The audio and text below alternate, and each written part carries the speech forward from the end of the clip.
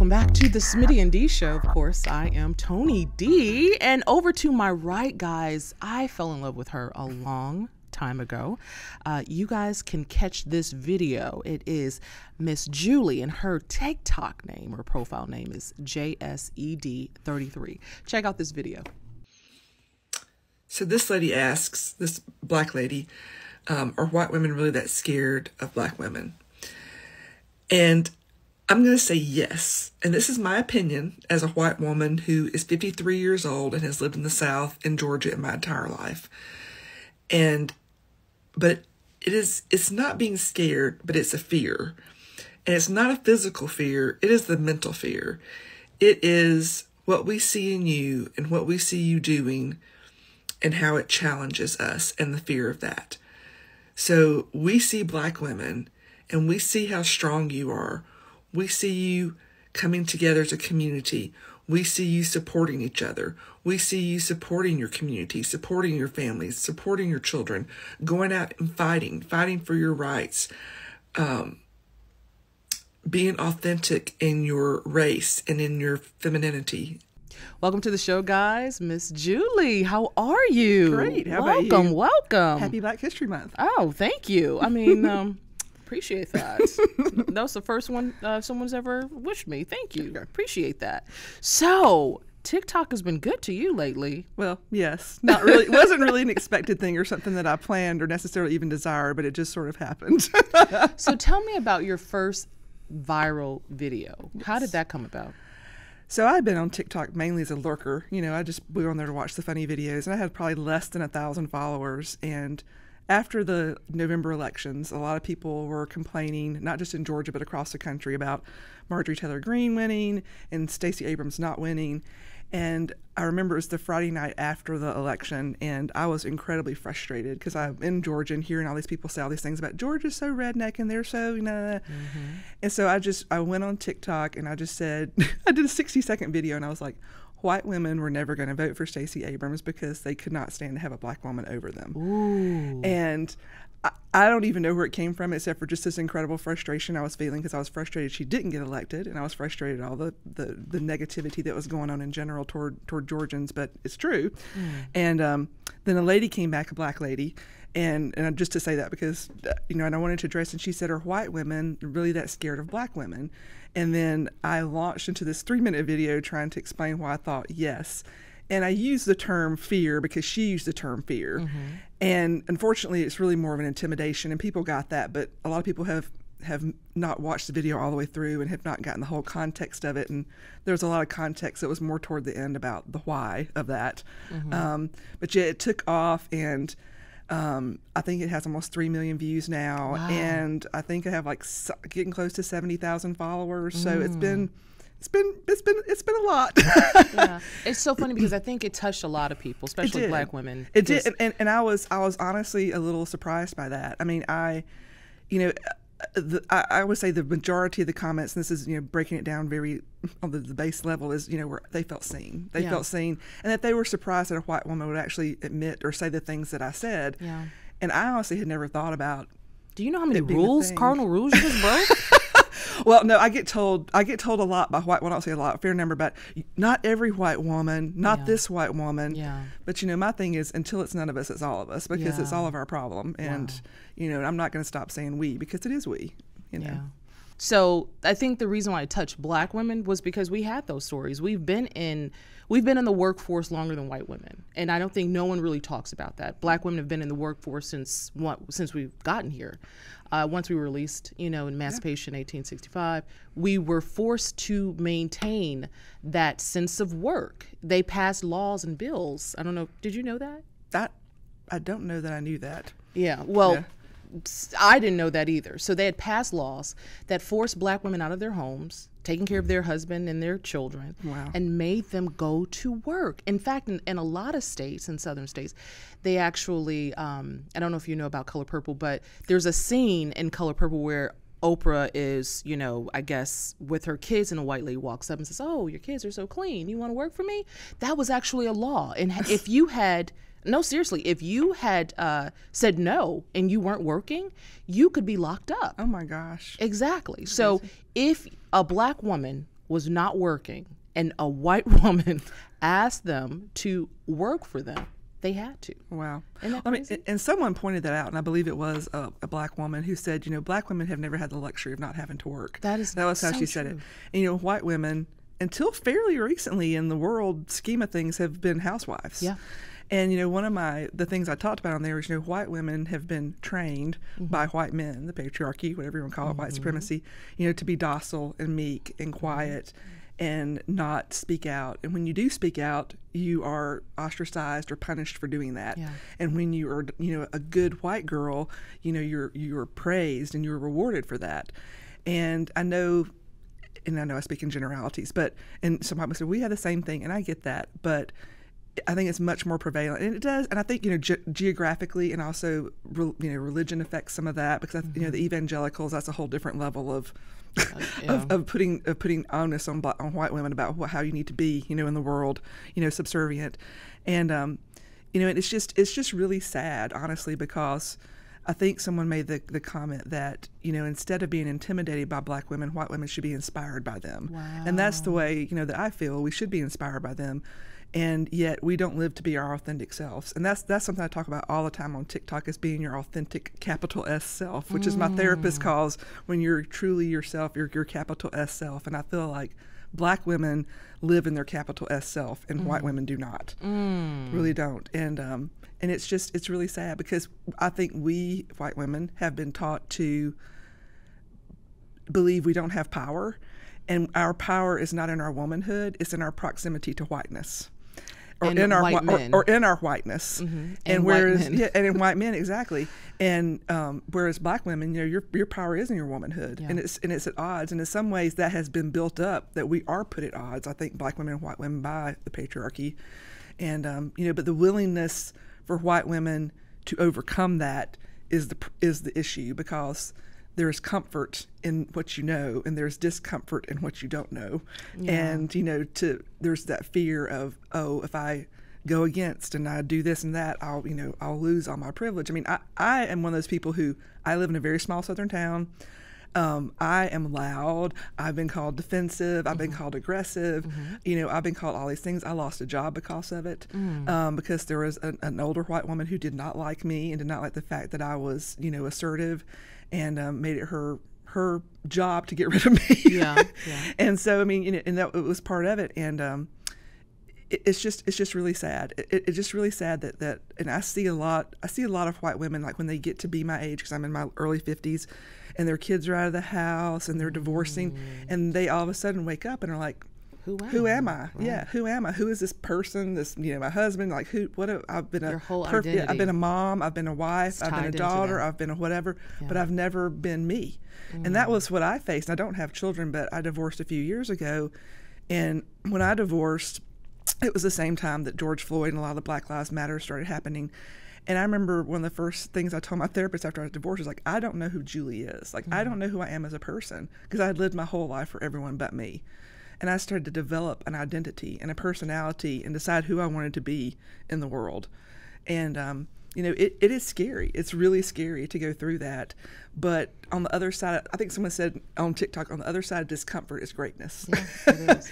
but you know, you have to be willing to go through that fire, through that discomfort to get to that greatness. And it's and it's not easy. Let me tell you what I appreciate about white women. Um, I have known white women ever since I was very, very young.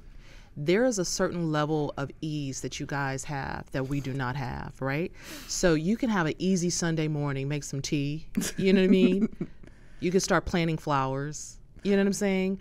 We don't have that life. We never had that life. We never had it easy. So when we're looking at, you know, TV or now social media and we, we're seeing like just being basic. No, seriously, being basic is is is now the thing. You know, I want to be basic all day.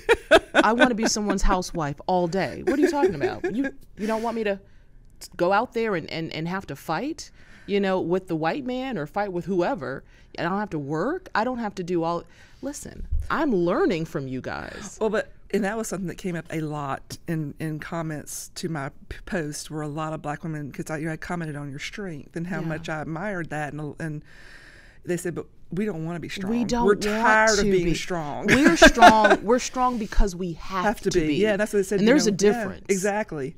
Yeah, there's a huge difference. And our I- gra- we saw our grandmother do it. We saw our mother do it. Our aunts, our cousins. We saw them all be strong. Yeah. And and that's just how it went. And honestly, I had never thought about that, like, because I don't live that life, and Yeah. you know, and I, I mean, I still think it's something to be admired. Yeah. But knowing that you don't didn't really have the option, you know, it was it was something that you you know we have to be strong because that's you have your your skin color against you and the fact that you're a woman, and so you know it's you're the lowest person on the totem pole, and so you have to be strong to, in order do to live your life. You do. You do. So tell me, um, what what got you into this? Really, like what what, what woke you up? Because I like to use the word woke. I mean, I and I, I know these are like stupid things to say, but my my parents did not raise us that way. I know you don't say that. Your parents Like, did not no, raise you I mean. I, I was raised in a town where, like, I went to an elementary school where two thirds of the kids were black and one third were white, and Mm-hmm. I always had you know black friends. And then when we moved to to a town when I was in my um, teens, early teens.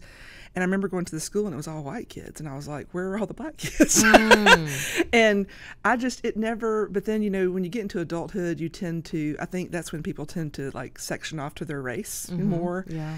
And um, you know, but my friends now, I have no close female white friends. My two closest friends, one is a, a black woman and one is a Latino woman, Mm-hmm. and um, I just, I, like I said, I, I, I don't. You know, I've been accused of a lot of things, but I just I have problems with a lot of the women that live where I live. Yeah, yeah. and the way You they should act. move. Should I, I should move, You but my should move. parents are Come there, on- unfortunately. Come on, come on to Atlanta. You'll have fun. But I mean, honestly, it's just I just want to be a good, kind person and recognize the fact that there there are people in this world that are treated really shitty for no reason. Oh, Yeah. sorry. no, you're fine. Except for You the fact the that you know who they love or their skin color or whatever, and Yeah. that's just it's it's it's not right. What should allies be doing right now? Because I'm, I'm going to consider you an ally. Yeah. What should allies be doing? Well, I mean, we have to get our people. Together? Yeah, I mean, get them together. And I don't, I don't even know. I feel like you know, there's a group of white women that are never going to come over. They're mm-hmm. never going to come over. They're going to be firmly rooted in racism, white supremacy, whatever you, you know want to call it. They're not just going to. They're never going to come over. Do you think that maybe it's not that they hate or maybe they it's just not in their proximity? Like Yeah. They just don't know anything about it, so why should they even have to learn? Yeah, exactly. And I, but I think where what I'm, I'll say more concerned about is I think there are a lot of white women sort of in the middle, mm-hmm. but they are intimidated to start the process, or they don't know where to go, or they'll misstep. Because I've had women they DM me through TikTok and say, I, "I love what you're saying, white mm-hmm. women, and I want to be involved, but like I don't want to say the wrong thing and like upset a black woman, or I don't want to, you know." And so I try to direct them to some of the black content creators because that's what I did. I'll be 100% honest. When I first started, when I first started looking, when all the BLM stuff was going on, mm-hmm. I came upon some really great content creators on there. Portia Noir, Noir I don't know if you mm-hmm. know her, she's great. White Woman Whisperer. Um, and I did that whole not this white woman, you know, when I was listening to them, and then I was, you know, kept listening and not speaking. Yeah. and I was like, that that's me. That's not them, you know. And I think Portia said has this great comment about when you respond, you, your only intent is to defend yourself, not to really comprehend what someone is saying. And um, and so I started listening to them, and I was like, they're right. They're right. And and that you know was a huge moment for me. And I think you know the the women that are actively doing the work need to continue to do that work. But I also think that there is some leeway, and I've had this conversation with some other some other white women on the app that are you know doing the work, as they say, about making it more accessible to more white women, so that mm-hmm. they feel that they can be involved and and it's not it's not an intimidation thing for them because I think they I, I think there's a lot of times there's a lot of big words that are used and you know concepts and some of it t- sometimes like I say is just doing doing the right thing to a certain degree. I will say that uh, we're not blaming white people now. Yes. We're just blaming your grandparents. we're blaming the some- system. We're blaming a couple of y'all, but not all of y'all. Not all of them. Maybe like, maybe like Let me just say the qualifier: not no. all white people. How about that? white, white people. White people. so, what are you doing, Ally, to bridge the gap?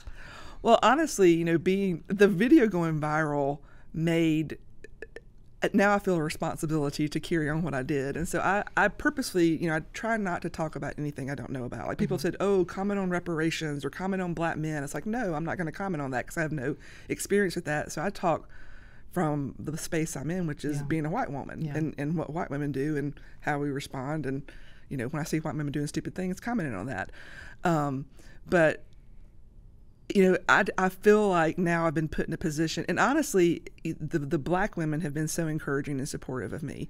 And uh, I had a little melt, meltdown. Y'all go look at my videos this past Friday, Saturday night, because I've because I went through a lot of loss and a lot of depression over a period of time, and um, y'all love like no one I've ever seen. I'm telling you. Black women, y'all love the community and the love and the sisterhood. It is so because we're human first. oh my god, We're everything else second. We're human It is. first. It is overwhelming, and I mean the amount of love I have felt from the black women on that app. I mean, I'm getting teary eyed right now. Is just it has almost healed a part of me. I, you know, from the sadness that I've had, just the acceptance and the we see you because being seen is a. I think being seen is one of the most powerful things that you can do for someone to see them for who they truly are.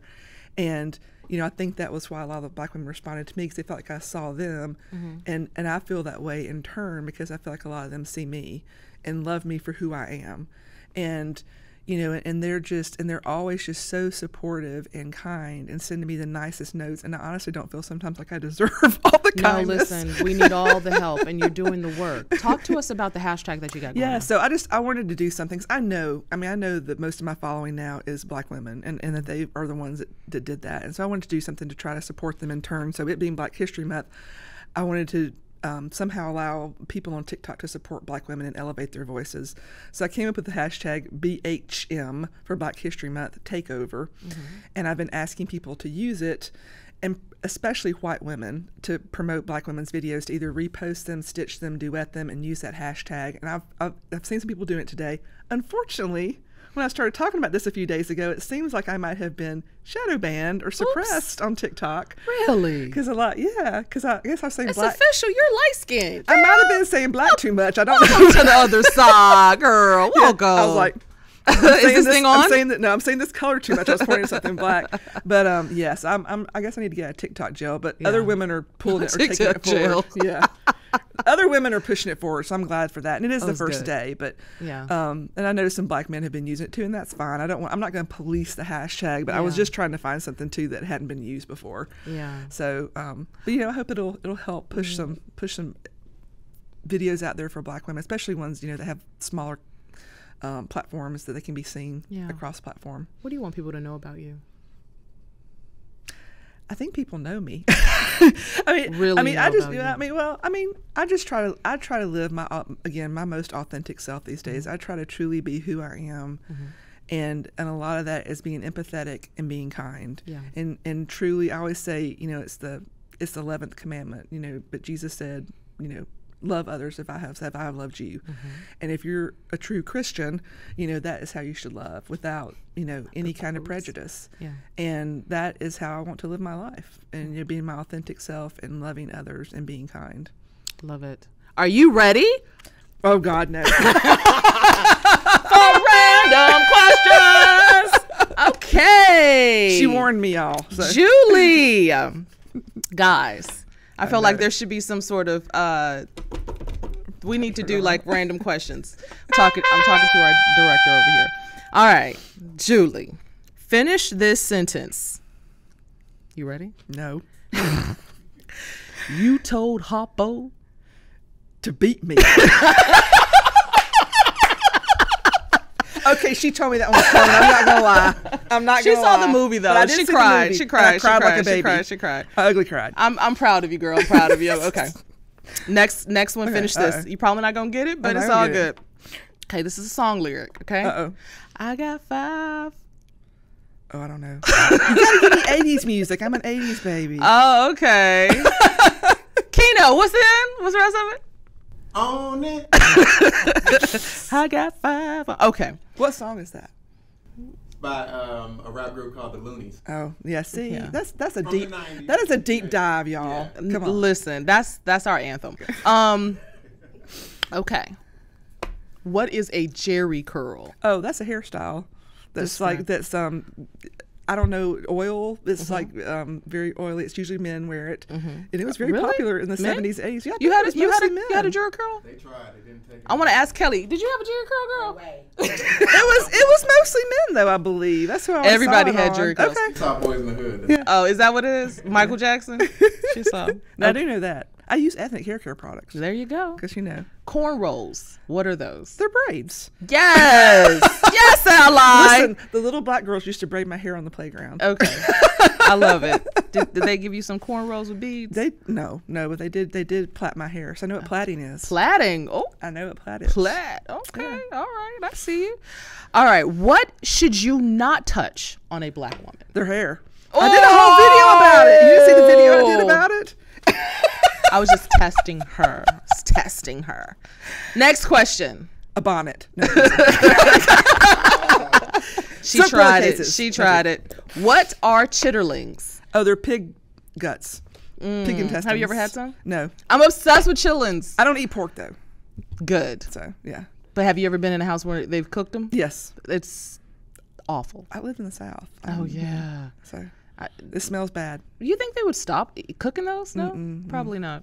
Mm, mm. Name three of your favorite black actors. Ooh.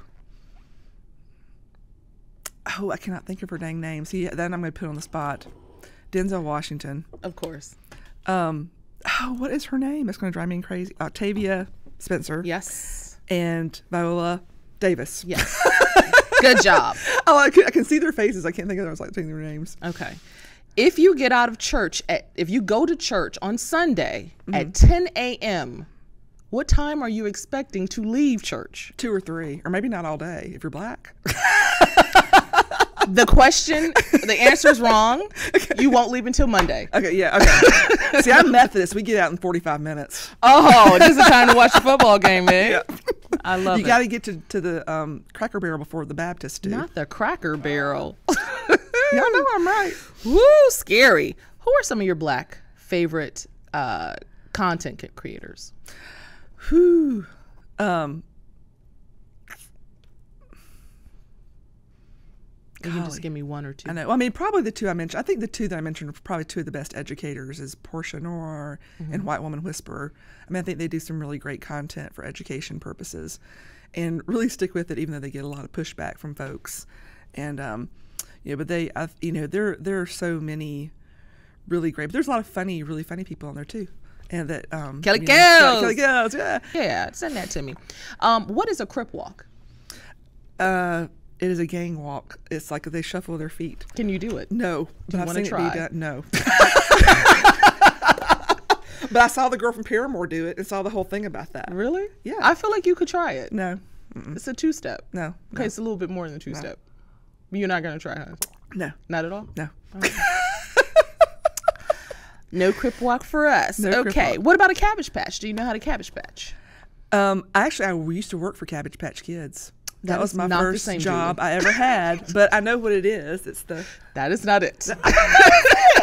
okay. I don't know what it is then, but it is I think that's the. Roger Rabbit. It is a dance. It it's is a dance. dance. It is. Yes. It is. And I worked for Cabbage Patch, so I did get some points through that. What's up with those uh those those birth certificates? And who was Roberts? Who's that guy? Oh, Xavier Roberts. He's a real person. is he really? Yeah, yeah. I met him. He lives. Yeah, Wow. he has boatload of money from that. Okay. All right. What's your uh you you you got a kid now. Okay, thinking about you having a kid. There's a toy, Mm-hmm. two toys on the shelf, a black toy and a white toy. Your child is white. What toy you getting them? Whichever one they want. Ooh. a Tonka toy it is. No. they get whatever they want. Yeah. Okay. All right. I see you. I see you. Tyre Tyre Nichols, what's your mm-hmm. thoughts? I'm sorry. I'm just I get emotional about it, and you know, I mean, I just I can't even imagine what black people feel seeing that when I know how emotional I get thinking about it. But this shit's just got to stop. It's got to stop, and I don't. I mean, I don't know what it's going to take to make it stop, but it's just. I don't even. Yeah, I mean, it's just, I mean, it, it, the fact that it's so, it just seems like every time you turn around, you see a new story about it. And um, I hate that in some ways it was black officers that did it because I think people say, "Oh, see, black people can do it too." But you know, I've seen so many black people say it's not it's not about the color of the officers; it's about the, the you know the, the policing, the policing part of it, and the fact that when you're indoctrinated and you go through all that training, you know, again, your proximity to that whiteness, you think it's okay to do that kind of stuff, and um, it's just yeah, I, I, yeah, I, I mean I don't again I don't know what it's going to take because this has been going on for you know several years now that we've known about how many cases have happened since even George Floyd or certainly Rodney King was years and years ago. But um, I wouldn't watch the videos. I won't watch them. I put something on my Facebook page, you know, telling people not to watch them and to turn their their sound down and stuff, and put warnings up because that is a trauma you should not have to endure. You should not have to do it. Yeah. I feel like everyone needs therapy after watching these videos. Oh, yeah. Yeah. It's pretty bad. All right, last question. and I asked everyone this. You ready? Yeah. Okay, shake it off, shake it off, shake it off. It's the end, right? Mm-hmm. You're going to see God. Mm-hmm. What are you expecting? You sure I'm going to, say? see God? You seen big? You seen baby black Jesus? you seen black Jesus? Um, it's the end, and and and you're facing God. What do you What do you hope God say say to you or says to you? you did good. You did good. You think you did good? I'm trying to do my best. I think it took me a while to get to where I am, but I'm going to try to continue what I'm doing. I love it. Thank you, Julie, for coming Thank to you. the podcast. Tell everyone where they can find you.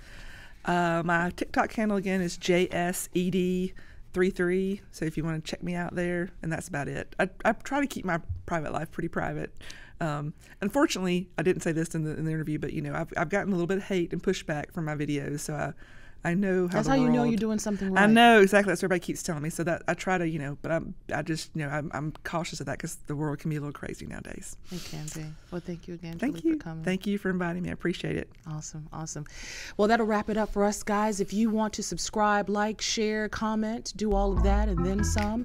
And if you want to get in contact with us directly, make sure you reach out to us through uh, our email, info at smittynd.com. Again, that's info at smittynd.com. Um, until then, we will see you soon.